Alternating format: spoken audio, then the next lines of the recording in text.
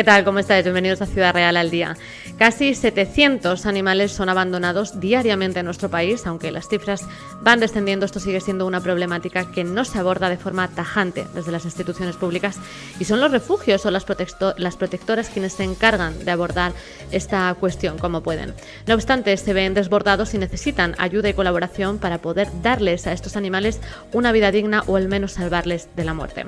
Es el caso de Huellas, una protectora de animales ubicada en Puerto Llano, formada por voluntarios que poco a poco van logrando gestionar la acogida de estos seres indefensos que dejan a su suerte. Hoy hablamos con su presidenta, Karen Cous. Bienvenida, Karen. Buenas tardes.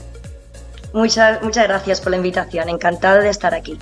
Igualmente, Karen, eh, cuéntanos cómo nace esta protectora eh, y si hay mucha necesidad en una ciudad como Puerto Llano de, este tipo de, bueno de, organizaciones, de proyectos, ¿no? de acogida de animales. Sí, llevamos 11 años y ya no podríamos faltar. Es imprescindible que cada municipio tenga eh, algo un proyecto funcionando para eh, abarcar los animales abandonados en su municipio. Es importantísimo.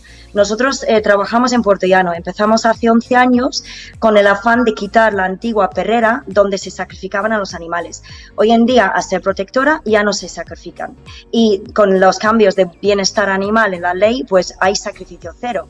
Entonces, hace mucha falta protectoras.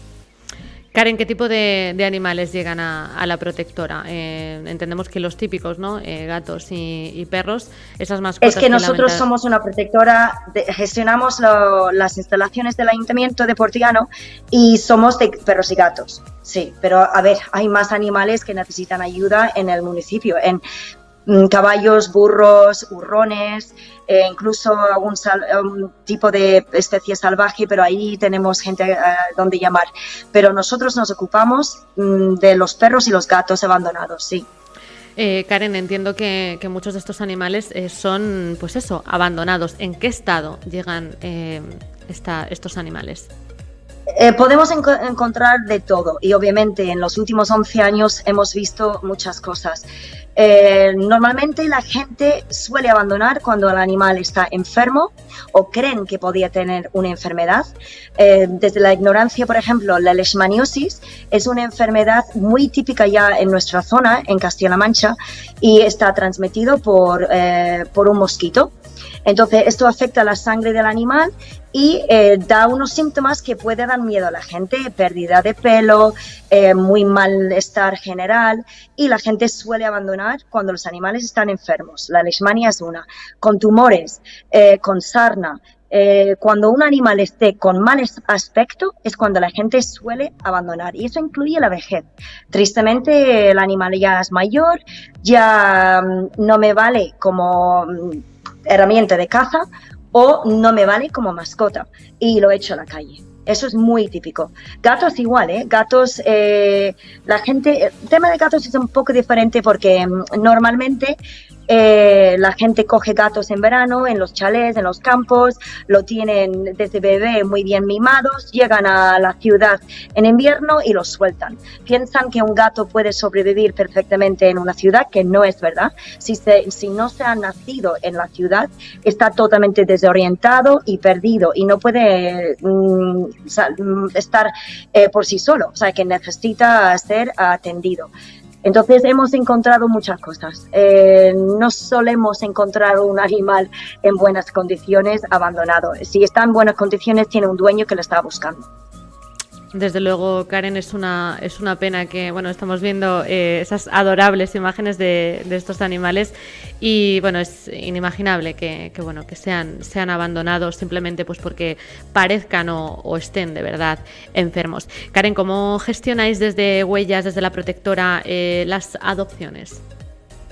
Pues eh, el tema de adopción a mucha gente le molesta porque hacemos un examen eh, exhaustivo, hablamos con la familia, queremos saber eh, que el animal que nosotros hemos rescatado va a estar bien para siempre. No queremos una casa donde lo vayan a volver a abandonar o maltratar o no tenerlo bien. Para eso se queda con nosotros, porque nosotros lo tenemos bien, eh, con atención veterinaria, con voluntarios que todos queremos a los animales que tenemos. Entonces necesitamos un hogar un hogar que no sea un campo donde se va una vez a la semana, sino sea un hogar, que el animal sea uno más de la familia. Eso para nosotros es muy importante, para siempre. Eh, si esté enfermo, si se enferma cuando sea mayor, que tenga el resto de su, de su vida, eh, que lo puede vivir de una forma digna y que pueda recibir una muerte digna, que también es muy importante. Entonces, para eso, llamamos por teléfono a la persona interesada, hacemos una visita pre a la casa y eh, hacemos un seguimiento. Entregamos los animales con las vacunas al día y con el animal esterilizado para que no pueda criar si tiene la edad. Si es un cachorro, se exige compromiso de esterilización. O sea, la familia tendría que mm, correr los gastos de la esterilización, de la operación, castración, cuando llega la edad. Y esto es típico en todas las protectoras, o sea que esto no es nada, nada especial de nosotros, todos los, hacemos, un cuestionario y queremos saber que el animal vaya a estar bien. Decíamos, Karen, que, bueno, que esto, esta protectora está formada por voluntarios, no hay trabajadores, solo únicamente voluntarios que siguen eh, trabajando para intentar paliar con estas situaciones de, estos seres indefensos. Pero bueno, también contáis con el apoyo del ayuntamiento, ¿no es así? Bueno, Patricia, que te corrijo un momentito porque sí tenemos trabajadores. Tenemos un veterinario a media jornada, de lunes a viernes está en las instalaciones, y tenemos un trabajador para limpieza. Eh, tristemente, porque es porque no llegamos los voluntarios. Eh, mm, ha sido necesario que la protectora eh, contrate a alguien para limpieza. Eh, pero sí, para volver a tu pregunta, tenemos el apoyo del ayuntamiento en que son sus instalaciones que gestionamos y cuando algo falla, pues pedimos ayuda para que nos arreglen cosas y mm, ellos mandan cuando haya plan de empleo. Entonces ahora mismo tenemos una chica majísima de plan de empleo que está trabajando en el albergue. Karen, si consultamos vuestra página web, que lo que hemos podido ver es bastante completa, tenéis una especie de sección donde se lanzan eh, consejos, ¿no? De qué hacer si me encuentro un animal abandonado, qué hacer si veo eh, que un animal está siendo maltratado, ¿no? Em, eh, ¿Qué tipo de consejos dais ante este tipo de situaciones? Que al fin y al cabo son consejos, no es que os hagáis cargo, sino cómo orientar a la gente para actuar en este tipo de situaciones. A ver, hay un poco de desconocimiento aquí, porque la gente piensa que una vez que haya una protectora, la protectora tiene que hacer todo, y es imposible. Eh, somos un equipo pequeño, reducido, de 15 voluntarios, y eh, tenemos una media de 300 perros, 30 gatos siempre. Entonces, eh, lo que ponemos en la página es para que la gente, si vea casos de maltrato, que denuncie. Piensa la gente que tengo que denunciar yo como máxima responsable de la protectora así no puede ser, porque yo no puedo denunciar algo que no haya visto. Entonces, vecinos, eh, amigos, eh, quien sea, cuando vean un caso de maltrato, deberían de denunciar. Y hoy en día hay bastante ayuda en redes sociales para eh, denuncias de animales, para el malestar, de cuando están maltratados, para su bienestar. Se puede buscar abogados y hay un equipo de apoyo siempre para denuncias. Luego, el tema de un, animal en, el, en, la ciudad, pues aquí, por ejemplo, ahora mismo en Portellano tenemos un podenco que lo está viendo muchísima gente. Llevamos dos semanas y medio tras este podenco. No se deja coger. Eso significa que tampoco lo podemos coger nosotros, que no somos superhéroes, no tenemos ninguna eh, capacidad fuera de lo normal, ¿no? Solamente paciencia y tenemos técnicas y tenemos un lazo. Entonces, este animal está ahora mismo, este podenco, por toda la ciudad. Hemos pedido la colaboración de los ciudadanos en avisarnos, porque estamos esperando que este animal se quede quieto en un lugar, en una zona donde le podemos rutinar.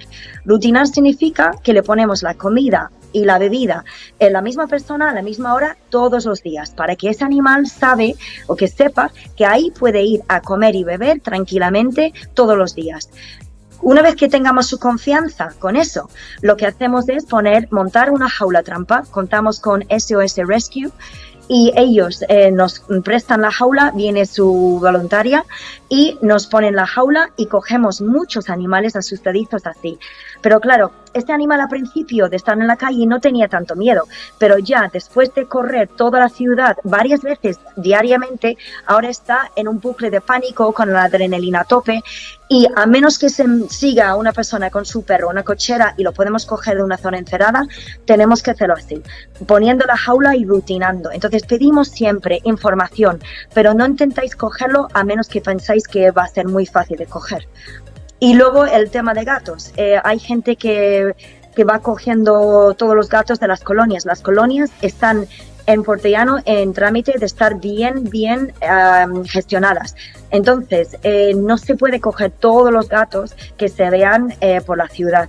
Intentamos acoger los abandonados, no los ferales, porque no daríamos abasto. Y otra cosa que la gente pregunta muchísimo es si podemos coger camadas de gatos de los campos y no podemos hacer eso. Eh, perros con dueño eh, que no pueden atenderlo más. En este caso lo que podemos hacer es difundir. Prestamos nuestra red de redes sociales eh, nuestra difusión que es bastante amplia y prestamos ese servicio. Y si luego pues sale una adopción en el extranjero, lo gestionamos nosotros y si es local, nacional, pasaríamos el contacto a la persona que quiere entregar su animal. Pero antes de eso, no cojáis un animal.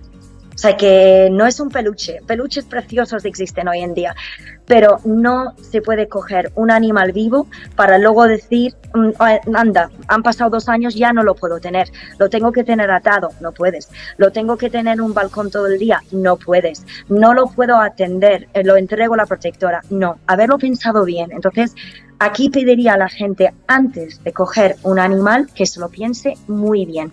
No es un capricho para un niño, mi hijo quiere un animal, pues ahí está el padre para educarle y decir, cuando tengas la edad de poder atenderlo tú, lo tengas.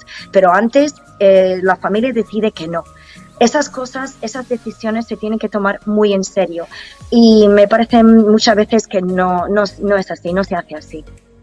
Desde luego, Karen, que, hay mucha desinformación y, bueno, eh, como dices, es una responsabilidad eh, importante eh, tener una, un animal. ¿Crees que poco a poco la tendencia de, comprar, ¿no? de pagar por un ser vivo está descendiendo y que, bueno, que cada vez se, acude más a las protectoras para adoptar, ¿no? para acoger a, esos animales, que está descendiendo la compra y sí aumentando la, la costumbre de ir a una protectora si quieres tener un animal en casa? Sí, Patricia, yo creo que sí. Yo creo que poco a poco la gente está comprendiendo lo que hace una protectora, cómo cogemos los animales y la idea de dar una segunda oportunidad. Eh, claro, todavía hay mucha gente que quiere comprar un cachorro porque quieren una raza específica y quieren cachorro. Es verdad que en las protectoras tenemos cachorros a veces, pero no sabemos el, cómo, va a ser de grande, ¿no? Muchas veces son mestizos de, que pueden tener 10, que pueden tener 15, que pueden tener 20, 25 kilos. Y la gente muchas veces quiere un cachorro pequeño, de tamaño pequeño de edad. Para eso, la protectores es ideal porque a no tener tanto cachorros, pero sí perros jóvenes, adulto joven, un año, año y medio, dos años, ya ves su tamaño real, ya sabes que no va a crecer más, ya también ves su carácter. Entonces muchas veces la gente descarta la, la idea de adoptar un adulto joven porque prefiere un cachorro para hacerse a ellos. Esto de no lo necesito porque quiero que se haga a mí te llevas un perro de 12 años a tu casa y tarda 5 minutos en hacerse a ti, porque es un perro senior, un perro adulto, un perro mayor que ha bebido y él sabe lo que hay y él se va a hacer eh, parte de la familia enseguida. Lo hablo de experiencia. Pero vamos, entiendo que no todo el mundo quiere adoptar un perro senior, porque claro, los años de calidad con ese animal y saber que solo vas a poder estar 3, 4, 5 es duro. Pero adoptar un perro senior es una preciosidad y es una cosa que animaría también a la gente a considerar. Sino eh, un adulto jovencito que ya sabes su edad y su ya conoce su carácter y sabe su tamaño ya de, grande, de adulto. Lo cierto, Karen, es que bueno, eh, el trabajo que, hacéis es extraordinario y muy necesario eh, para bueno, pues para eh, animales como el que nos contabas antes que está dando vueltas por, por Puerto Llano en estos, en estos últimos días. Y, bueno, nos consta que, ahora mismo en, Huellas estáis desbordados. Karen, ¿qué es lo que necesitáis? ¿Qué necesita la protectora y en qué pueden echar una mano nuestros espectadores? Bueno, pues tenemos ahora mismo algo que es normal, un virus.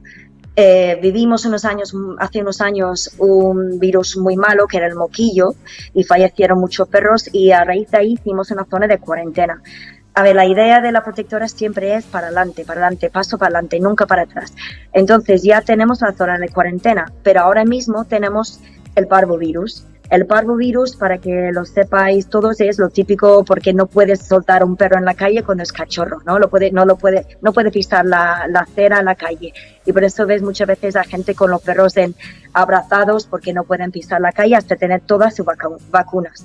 Bueno, pues en Puerto ya no parece ser que a, pesar de vacunas, incluso perros adultos pueden contraer este virus. Ahora entendemos todos lo que es un virus eh, debido al COVID en nuestras vidas y ya pues eh, se entiende que hay un riesgo para animales nuevos ahora mismo en el albergue y por lo tanto hemos pedido casas de acogida. Eh, casas de acogida, sobre todo para cachorros. Los cachorros nunca pisan el albergue porque, aunque no haya un virus como el parvo que tenemos ahora mismo, siempre hay más riesgo para ellos para enfermar. Y un cachorro necesita un hogar. Casas de acogida siempre hacen falta. Y es un labor precioso. Durante un tiempo tienes un animal en tu casa, no tienes la responsabilidad de decir lo tengo que tener hasta que se muera con 15 o 16 años, lo tengo un tiempo hasta que la protectora encuentre una adopción para ese animal. Y si lo quiero adoptar yo, pues siempre hay una opción de adoptar en la casa de acogida. La protectora pone el pienso de cachorro y pone eh, veterinario. Entonces es una forma de, quizás en algunos casos, en unas familias, probar a ver qué tal si la familia se hace con, una, con un, animal, tanto perro como gato. Perros y gatos, cachorros de, eh, buscamos casa de acogida siempre. Eso es una cosa que necesitamos hoy y siempre. Y la otra cosa, manos. Solo quiero manos. Eh, la gente está donando ahora muy bien a una campaña que tenemos, que lo agradecemos muchísimo porque el dinero es necesario, pero hacen falta voluntarios.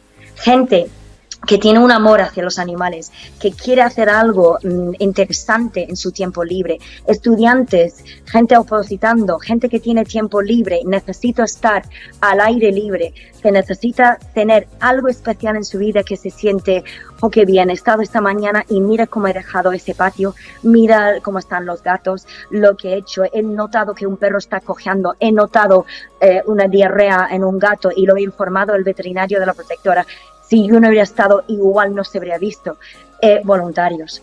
Y es una cosa que no comprendo en una población como Puerto Llano, que tenemos 15 personas y la mitad somos de fuera. De Puerto Llano quizás hay menos de 10 voluntarios en una protectora tan grande, uno de los más grandes de la provincia. Entonces, eh, la gente tiene, no sé si es una imagen equivocada de lo que hace un voluntario o piensan que va a ser mucho trabajo pero se olvidan de lo que es lo que te llevas a casa, que es la satisfacción de haber estado eh, al aire libre trabajando, lo sano que es eso, que nosotros no tenemos ni un gripe ni un constipado, y, y lo que recompensa en tu vida. Y gente que está buscando en, un empleo, en una entrevista, decir que eres voluntario en cualquier cosa, tiene que abrir puertas. Bueno, pues desde aquí animamos a todos aquellos que quieran echar una mano a estos animales que necesitan de, nuestra ayuda a contactar con la protectora Huellas en Puerto Llano. Eh, podéis visitar su página web y encontrar allí toda la, información de cómo, de cómo echar una mano. ¿no? Karen Coase, presidenta de la protectora Huellas en Puerto Llano, muchísimas gracias. Enhorabuena, de verdad, por vuestra labor que es tan, tan necesaria en estos momentos y un placer haber contado contigo aquí en Ciudad Real al Día. Un saludo. Muchísimas gracias a vosotros siempre. Un saludo. Ya sabéis que podéis seguir el programa y mucho más contenido a través de nuestras redes sociales y también a través de nuestra página web. Hasta la próxima.